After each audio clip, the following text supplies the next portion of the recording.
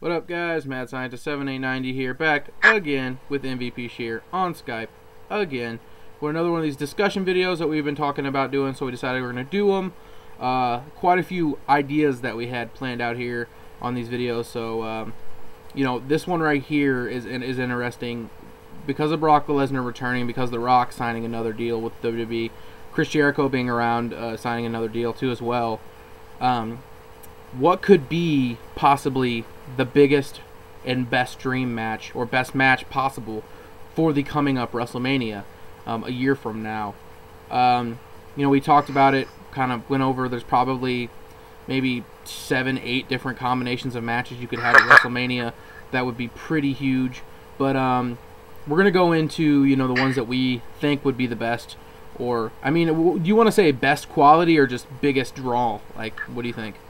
I just think biggest draw, you know, after doing Rock Cena, I, I think, you know, the company is really looking for just like dream style matches. I'm a huge fan of dream matches, and like you said, there are like seven, eight, nine different combinations of guys you could put together, and just all of them would just be good to have under the WrestleMania moniker. Hmm. Like all of them would be fucking fantastic. If they did a couple of them, it'd be even better. So. Yeah. Let's get right into it. Yeah, I, I think um, you know if you're thinking about draw, I'm gonna give you two, um, one for the draw and one for the quality. Um, for the after, you know, the, the draw I think could draw just as much, or maybe even better than Rock Cena. I could say, you know, obviously, obviously what we saw on Raw, um, you know, Brock Lesnar versus John Cena, but they might, uh, you know, set it up for SummerSlam possibly instead of WrestleMania. Like you said before, you're looking at you know the the biggest draw for WWE in the last 10 years compared to the biggest draw for UFC in the last 10 years. Um, you know, it, it, the drawing power of both guys in a match in a main event at WrestleMania um, could shatter anything UFC or WrestleMania has ever done. I think it's possible, but you know, who knows? I don't know if they they wait. Um, they want to do another dream match with Cena, a build up like that again. It'd just be really kind of forced, I think. But you know, it, it's to be seen. And then the next one, I think, for the quality, um, I really think CM Punk and, and, and Stone Cold could have a really quality match. I think, I think Stone Cold is, you know, said he could get back in there in the ring and have a couple more matches. I think that's definitely possible. He never officially retired. Um, so you know, going in there and having a match against like Punk, I, I think Punk would would make him work, and I think it would be a really interesting, I think, story in the ring and and that's where I would you know really really enjoy out of that. But what do you think about this, Mr. MVP Shear? I don't know. With that match there, I just want to say that I think it'd just be kind of like Rock Cena in terms of match quality. In that, you know, I think Stone Cold's even more worn down, not, not, you know, I think it's it's obvious he's probably more worn down than The Rock is, and I just don't know if Stone Cold could hold a match of that quality together for a prolonged period of time. Um, you know, there's so many of them. It, there's, you know, there's a thought if Shawn Michaels is coming back, you know, he could face Triple H, he could face The Rock in a match that nobody's ever seen that I really want to see.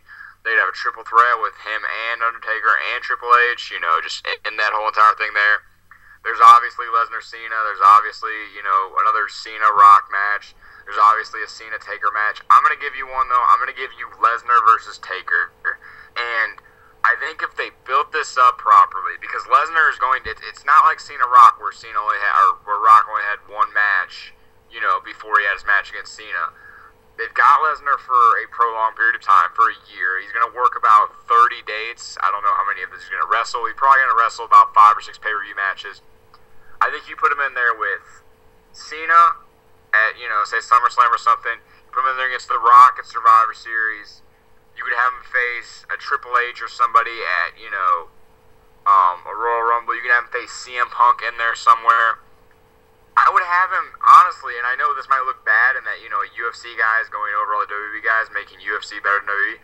I'd put him over all those guys. I'd have him go on some kind of you know maybe not undefeated streak, but he just destroys everyone whether he wins or loses. If he loses, he destroys them afterwards. Hmm. And you know to really get over the fact that he might possibly danger the streak of The Undertaker. And I think that, that match would do huge buys if that happened. I think, you know, people have wanted to see it since Undertaker and Brock had the confrontation after the UFC show when Undertaker was getting interviewed. So, um, you know, I think it'd be pretty huge.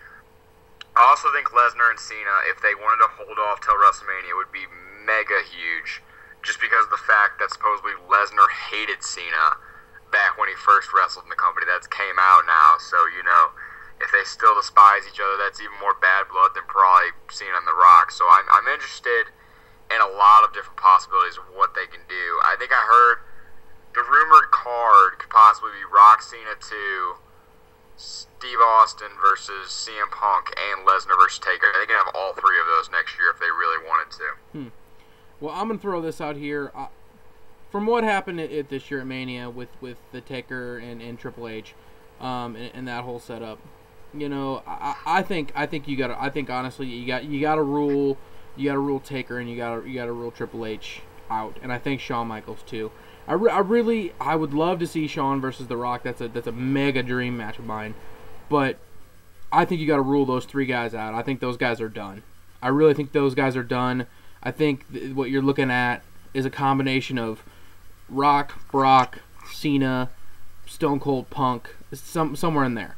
I think Stone Cold could come back and do a match, but I think the three guys at WrestleMania and that Hell in the Cell, I think they're done.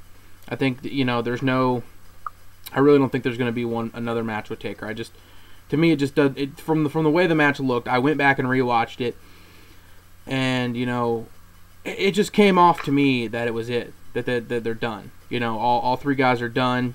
You know, at least for the wrestling. Well, Shawn's been done, but Triple H, Undertaker, are are done. It really looked like that, and really that's what the way it came off.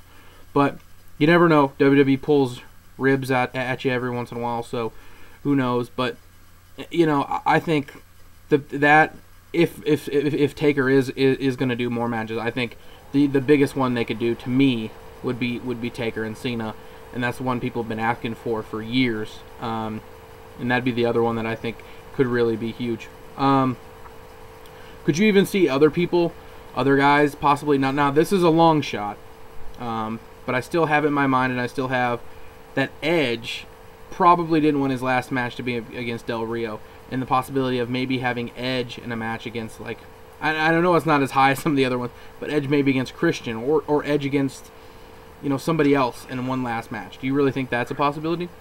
I don't think that would main event or even necessarily be a dream match, and the fact that we've we've already seen it um, you know, I know we saw it like 10 years ago. I, I still would have loved to see it again. I was actually hoping for that match at WrestleMania this year before, you know, Edge obviously had the retirement. And my column right after WrestleMania 27, where I put the WrestleMania 28 dream card together, that was the match that was on there.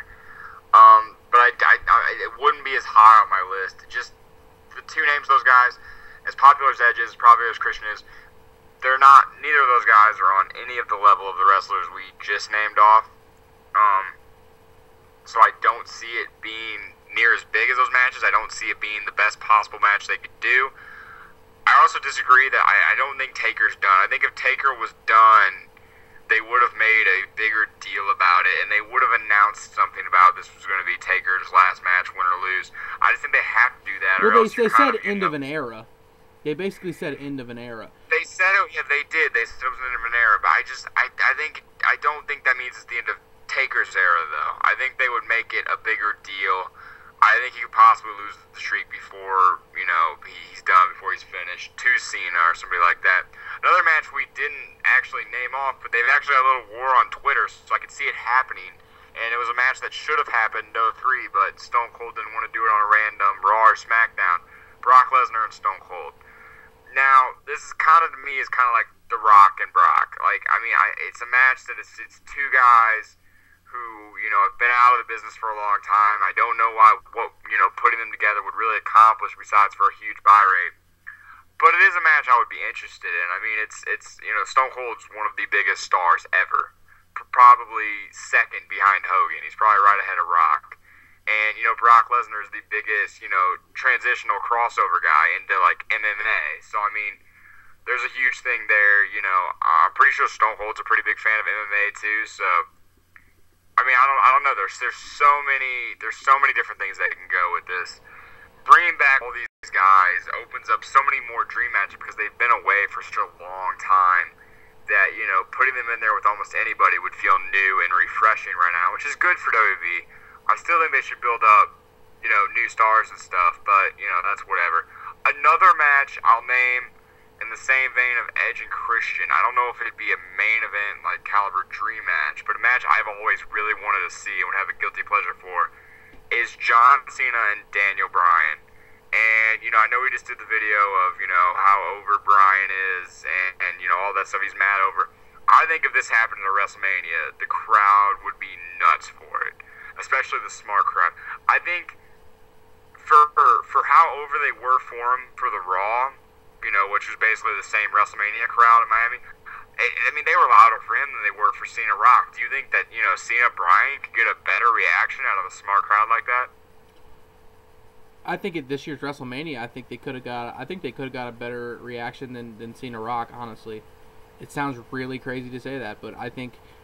I it think does. That, I never thought that, but uh, you know, and, and, we have another guy we hadn't even mentioned, who you know, I guess you consider could consider now a dream match guy with a lot of guys they have now, Chris Jericho. I mean, some of the matches he could have, even though he's had matches with Rock, he's had matches with Cena, he's had all these matches before. Um, you know, it's interesting to see right now where they're at in their career if they were to have another match against each other and see how that would work. I don't see Chris Jericho against any of these guys being a, a giant draw, but you know, I will I say this: there, there's there's one match I wanted to see for a long time. It was also on my list that I wanted to see at this year's WrestleMania that didn't happen. Chris Jericho and Undertaker. I've just always wanted to see them in a marquee WrestleMania match. I've just always thought that would be a good pairing. I've always thought they could tell a pretty good story in the ring. I'm not. It, it wouldn't be as big as a lot of the matches we've announced, but it's, it's something I would love to see someday. Although I don't think we ever will. Plus, I think Chris Jericho's new contract expires somewhere around the time around SummerSlam. I guess after SummerSlam. So I have no idea if he's even going to be at next year's WrestleMania. He could be out touring with Fozzy. He could be I don't know, doing another Dancing with the Stars. You never know with Chris Jericho. I, am not certain he's actually going to be on the card. Hmm. So you so never know. So never yeah, know. Um, so we got a lot of interesting uh, matchups here. Uh, don't really know what's going to happen. Uh, like I said, there's so much stuff going on right now. There's so many different guys coming back and this and that. We didn't even mention Batista. I don't even know if you would consider him maybe a dream match guy, but that's I mean yeah. that, that's that's yeah. another thing you could throw in there. You know, a, a possibility. But let us know what you guys think here for the you know what what is what do you guys think could be the biggest match or biggest I don't even want to say dream match, just biggest match possible they can have at WrestleMania uh, next year or at all at WrestleMania because there's there's so many different possibilities that could be floating around right now. Seems like those matches are going to be the big big draw for these manias coming up. So um, who knows what we're going to see here. Um, so we're going to get out of here. This is uh, for MVP Shear. I'm the Mad Scientist, and this is RSTS Express Wrestling, and we're going to get out of here. Deuces.